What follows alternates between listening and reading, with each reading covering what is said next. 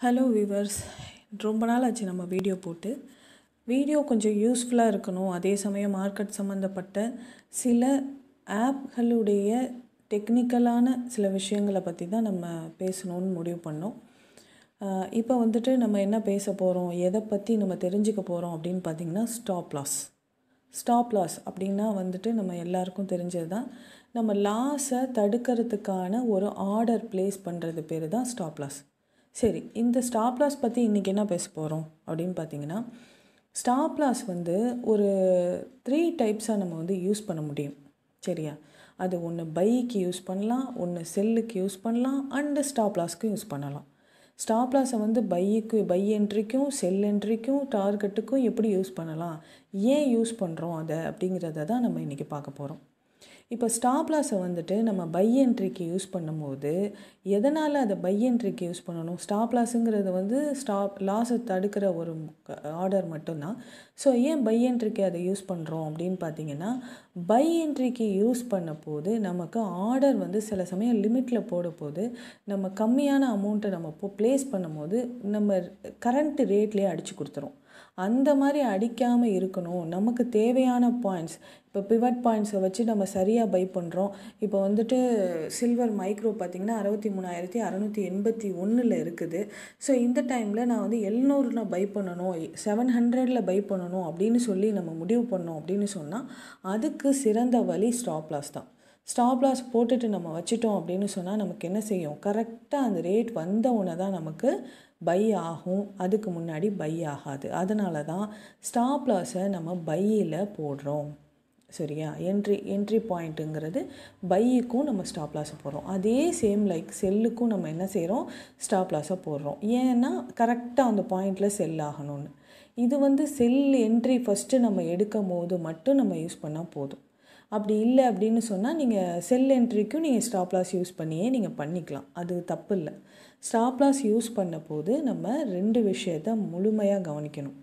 ஒன்று நம்ம பெண்டிங்கில் இருக்கிறதுக்காக தான் ஸ்டாப் லாஸ் போடுறோங்கிறத ஃபஸ்ட்டு நீங்கள் தீர்மானிச்சுக்கணும். ரெண்டாவது இந்த ரேட்லேருந்து அந்த ரேட்டுக்குள்ளே நமக்கு கன்ஃபார்மாக அடித்து கொடுக்கணும் அப்படிங்கிற ரீசன்னாலே நம்ம ஸ்டாப் லாஸ் போடுறோம். அது என்ன ரீசன் அப்படின்னு பார்த்தீங்கன்னா இப்போ நான் டெமோ பண்ணி காட்டுறேன். இப்போ வந்து பையில் வந்து நான் போட்டுட்டேன். பையில் பார்த்தீங்கன்னா ஸ்டாப் லாஸ் வச்சுட்டேன்.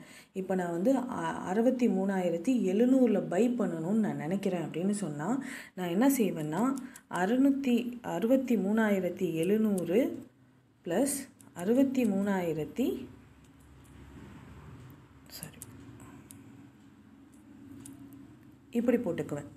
எழுநூறு எழுநூற்றி ரெண்டு அப்படின்னு போட்டுப்பேன். சேம் ப்ரைஸ் போடாமல் இருக்கிறதுக்கு காரணம் என்னென்னா சேம் ப்ரைஸாகவும் போட்டுக்கலாம். அறுபத்தி மூணாயிரத்தி எழுநூறு அறுபத்தி மூணாயிரத்தி எழுநூறு அப்படின்னு போட்டோம் அப்படின்னு சொன்னால் கண்டிப்பாக நமக்கு என்ன செய்யும்? இந்த செவன் ஹண்ட்ரட் எப்போ வருதோ அப்போ தான் நமக்கு அது பை ஆகும்.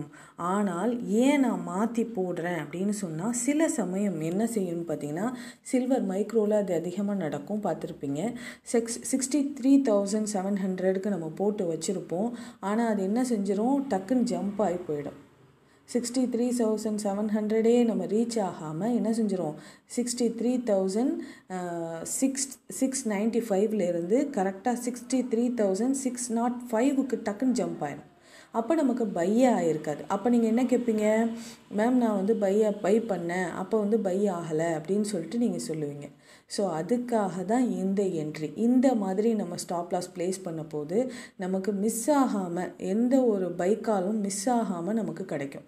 இந்த செவன் செவன் நாட் டூ அப்படிங்கிறத நீங்கள் செவன் நாட் ஃபைவுக்குள்ளே கூட நீங்கள் வச்சுக்கலாம்.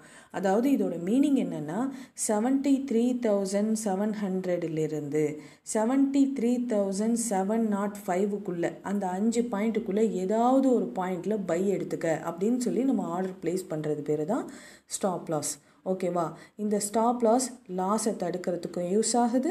ப்ளஸ் நமக்கு பை என்ட்ரிக்கு யூஸ் ஆகுது செல் என்ட்ரிக்கும் யூஸ் ஆகுது. ஸோ இப்போ பை என்ட்ரிக்கு நம்ம வந்து கொடுத்துட்டோம் அப்படின்னு சொன்னால் பை கம்ப்ளீட் ஆகிடும் ரைட்டுங்களா சரி. ஓகே ஃபைன் இப்போ நெக்ஸ்ட்டு பார்த்தீங்கன்னா செல் என்ட்ரி செல் என்ட்ரிக்கும் நம்ம என்ன செய்ய போகிறோம் ஓகே இப்போ நம்ம செல் என்ட்ரியை பார்க்க போகிறோம் செல் என்ட்ரியில் பார்த்தீங்கன்னா நம்ம என்ன செய்ய போகிறோம் பை பண்ணிட்டோமா? அங்கே ரேட்டுக்கு அறுபத்தி மூணாயிரத்தி எழுநூறில் பை பண்ணோம். அப்படி இல்லைன்னா எழுநூற்றி அஞ்சு வரைக்கும் நமக்கு போகணும் அப்படிங்கிறத நம்ம டிசைட் பண்ணோம்.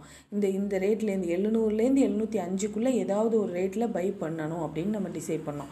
ஏன் டிசைட் பண்ணோம்? நமக்கு மிஸ் ஆகாமல் அந்த பை கால் கிடைக்கணும் அப்படிங்கிறதுக்காக நம்ம டிசைட் பண்ணோம்.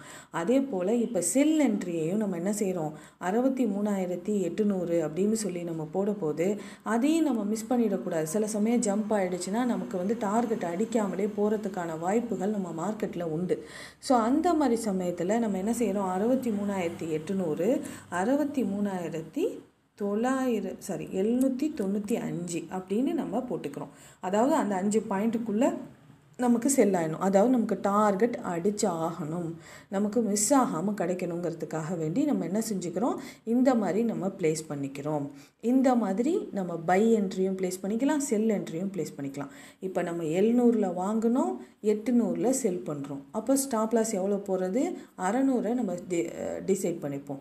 சிக்ஸ்டி த்ரீ தௌசண்ட் சிக்ஸ் ஹண்ட்ரடில் நம்ம ஸ்டாப் லாஸ் போட்டுக்கலாம்.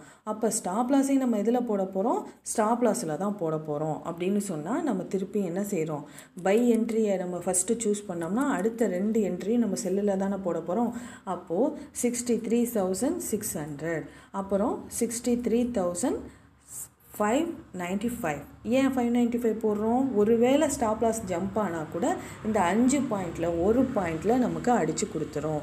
ஸோ அந்த ஒரு காரணத்துக்காக நம்ம ஸ்டாப் லாஸை போடுறோம். இப்போ வந்து ஒவ்வொரு விஷயத்தையும் நம்ம வந்துட்டு எல்லா நிறைய நிறைய ஆர்டர்ஸை வந்து நம்ம வேறு வேறு வழியில் நம்மளால் யூஸ் பண்ணிக்க முடியும். அது மாதிரி தான் ஸ்டாப்லாஸ் ஸ்டாப்லாஸை நம்ம யூஸ் பண்ண போது நிறைய வழிகளில் நம்மளால் யூஸ் பண்ணிக்க முடியும். இந்த மாதிரியும் இந்த ஸ்டாப்லாஸை நீங்கள் யூஸ் பண்ணிக்கலாம். அண்டு பக்கத்தில் இருக்குது பார்த்தீங்களா எஸ்எல்எம் இப்போ இது எதுக்கு அப்படின்னு பார்த்தீங்கன்னா எஸ்எல்எம் அப்படிங்கிறது என்ன அப்படின்னு பார்த்தீங்கன்னா இப்போ வந்துட்டு நம்ம அறுபத்தி மூணாயிரத்தி அறநூறில் ஸ்டாப் லாஸை நம்ம ஃபிக்ஸ் பண்ணிட்டோம். எப்படி ஃபிக்ஸ் பண்ணோம்? அறுபத்தி மூணாயிரத்தி அறநூறு. அப்படி இல்லைன்னா அறுபத்தி மூணாயிரத்தி ஐநூற்றி தொண்ணூற்றி அஞ்சு. இந்த அஞ்சு பாயிண்ட்டுக்குள்ளே எப்படியாவது அடிச்சிரும் அப்படின்னு சொல்லி நம்ம ஃபிக்ஸ் பண்ணிட்டோம். ஸோ இது இது பிடிச்சி ஆனால் இந்த மாதிரி போடாமல் நீங்கள் எஸ்எல்எம் யூஸ் பண்ணி போட்டிங்க அப்படின்னு சொன்னால் நமக்கு ரெண்டு ப்ரைஸ் நமக்கு காட்டாது. ஒன்லி ட்ரிகர் ப்ரைஸ் மட்டும்தான் காட்டும்.